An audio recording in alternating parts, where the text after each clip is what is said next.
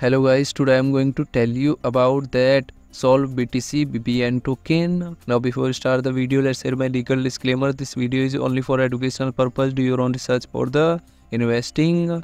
According to the website Solv is pioneering a bitcoin reserve through Solv btc aimed at unlocking the full potential of over 1 trillion in bitcoin assets through a liquidity consensus infrastructure by providing a fully transparent proof of reserve, having diverse reserve assets and seamless integration with liquidity markets. Solv is creating a comprehensive gateway to BTC FI and also paving the way for traditional funds to confidently enter the crypto world according to website.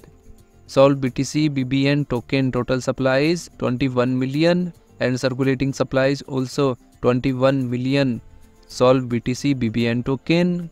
Solv BTC BBN token is listed on PancakeSwap V3, Uniswap V3, Dodo and other exchanges. If I share my opinion with you, then this project only 60% chances is that it is a legit or good project. So guys, don't take my opinion as a financial advice. Do your own research for the investing. This project may be a scam. Thanks for watching.